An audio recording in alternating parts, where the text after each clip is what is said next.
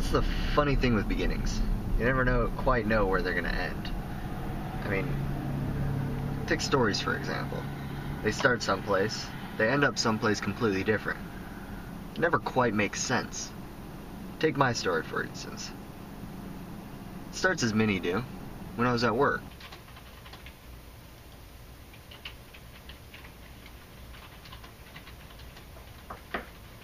Hey, how can I help you?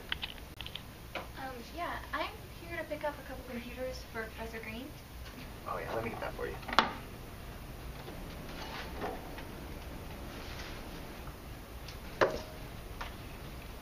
Um, they gave me an extra coffee. Do you want one? Sure, yeah. Thank you. Thanks.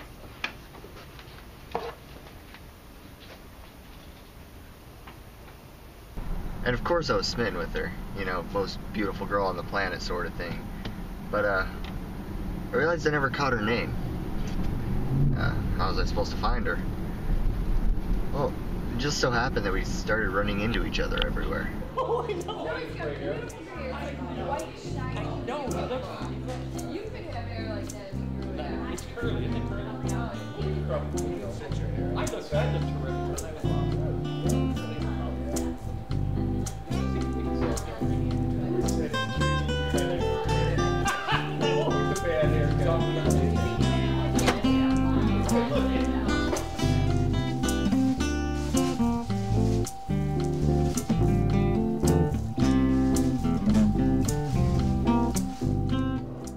Never quite seemed to meet. I'd see her, but she'd be gone before we could meet. And this kept happening every time we crossed paths.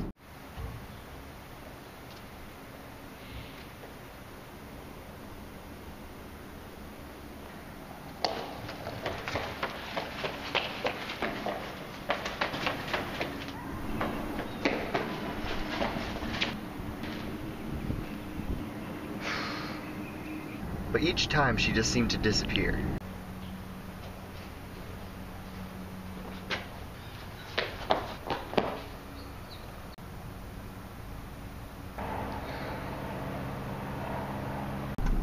Well, until the day I finally did catch up with her. Hey, Hi. uh, you picked up a laptop for me last week. Um, you gave me your extra coffee. I was wondering if maybe you'd like to pick up coffee with me again sometime. Do you even know my name? Uh, Coffee sounds nice. My name's Lindsay. I'll meet you right here tomorrow morning at 10 o'clock. I'm Keith. I'll be here. And it went from there. You know how relationships work. From coffee to first date to dinner to etc. You can probably guess where it went from there. Hey, thanks for the great time tonight, Lindsay, and uh, thanks for the ride. Um, do you Yeah? do you, before you go, do you maybe want to come up to my place for a cup of coffee?